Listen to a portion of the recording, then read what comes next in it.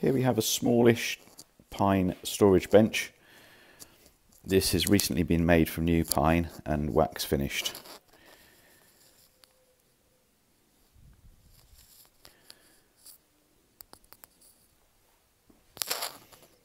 Nice and sturdy and very useful with the lift up seat. So you can stash lots of stuff in there, shoes or whatever you like. Lots of storage space.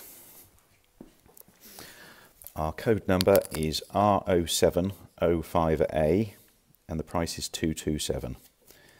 The height at the back, that's right at the top, is 36 inches. The seat height is 19 inches.